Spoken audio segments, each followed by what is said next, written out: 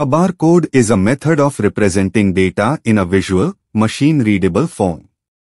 It consists of a series of black and white parallel lines or squares of varying widths. Each pattern of lines and spaces corresponds to a specific set of alphanumeric characters, allowing for the identification of items or products. Key features of barcodes include 1. Machine readability. Barcodes are designed to be read by optical scanners, which can quickly and accurately interpret the pattern of lines and spaces. This enables